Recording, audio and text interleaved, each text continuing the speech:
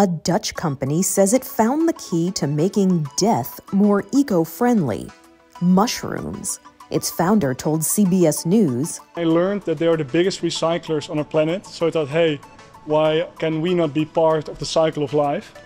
Loop Biotech has created these compostable coffins made out of mushroom roots and hemp fiber. It takes seven days to grow one of their coffins, and once buried, they decompose in 45 days. So here you have a piece of mushroom, and this is this is really hard. There are even compostable urns for people who wish to be part of this natural process after cremation.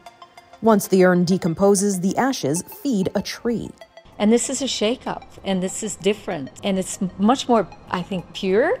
Um, we're not becoming chemicals, we're not becoming burned, um, and we're just being taken care of by nature. The hope is to decrease the amount of steel and concrete used in the funeral business in the coming years, letting people become one with the earth sooner.